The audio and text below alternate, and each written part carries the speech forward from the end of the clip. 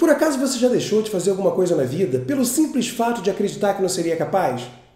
Se a tua resposta for sim, toma cuidado, porque você pode estar sendo sabotado pelas suas crenças limitantes, que é uma espécie de voz interior que vive te dizendo que você não é capaz de fazer alguma coisa específica. Pessoas que alimentam suas crenças limitantes tendem a assumir um discurso destrutivo, dizendo que elas têm ou que elas são alguma coisa.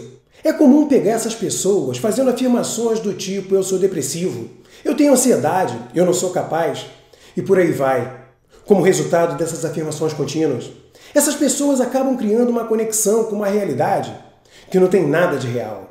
O fato de você estar passando por um momento instável na tua vida não quer dizer que aquilo tem que ser assim para sempre. Alimentar esse tipo de pensamento pode ser determinante para o teu futuro. Eles fazem com que você se conforme com a tua condição e realmente acredite que teu destino é viver infeliz, eliminando completamente qualquer chance de reação. Não se vitimize, não pense que todo mundo está contra você. Não se enxergue como um ser imutável. Se você acredita que pode ou se você acredita que não pode, em ambos os casos você vai estar certo. Se precisar de ajuda para mudar tudo que te incomoda, faz contato comigo que a gente conversa. Abraço.